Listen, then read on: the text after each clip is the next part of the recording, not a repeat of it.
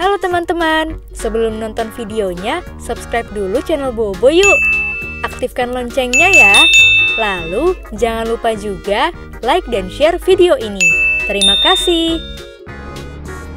Sore itu, aku dan ayah sedang berada di mobil. Kami baru saja pulang dari toko elektronik. Ayah sedang mencari-cari perabotan untuk rumah baru yang nanti akan kami tempati. Rencananya, kami akan pindah rumah bulan depan. Wah. Setelah seharian menemani ayah, aku jadi merasa lelah dan mengantuk. Tidur saja dulu, Nak. Perjalanan pulang kita masih cukup jauh. Kalau sudah sampai rumah, nanti ayah bangunkan. Aku pun menuruti ayah dan tertidur.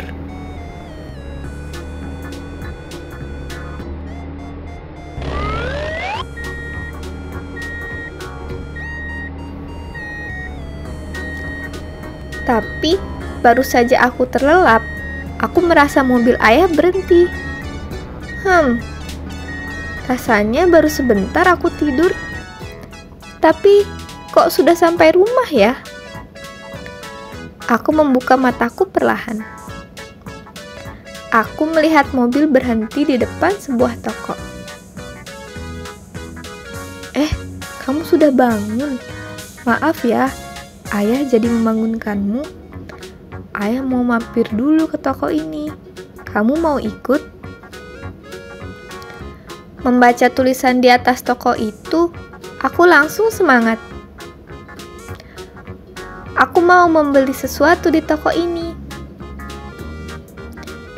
Aku mengangguk sambil meregangkan badan.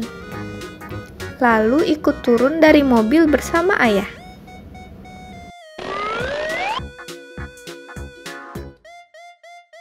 Aku dan ayah masuk ke toko itu. Tapi kok aneh?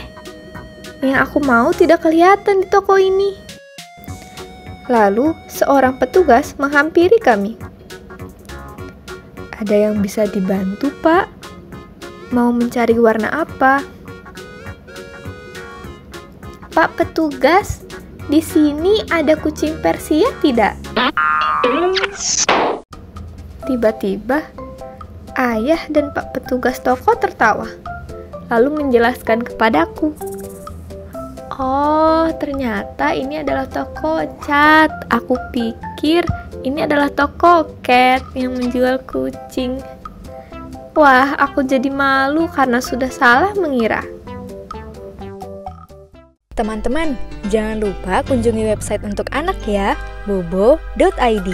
Like, komen, share, dan subscribe juga ke channel Bobo yuk!